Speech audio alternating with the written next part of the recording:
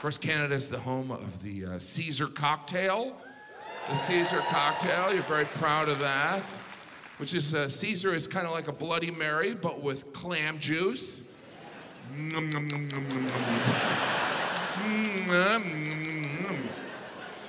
Clam juice, wow, I didn't know that was an ingredient or a liquid.